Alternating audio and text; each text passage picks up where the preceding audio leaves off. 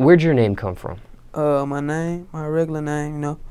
My name is Lonnie, you know, and uh, my dad name Lonnie, so you know they call me Lil Lonnie. Just a regular nickname, you know. That's your real name? Yeah. Now in rap music, most people use an alias or a nickname.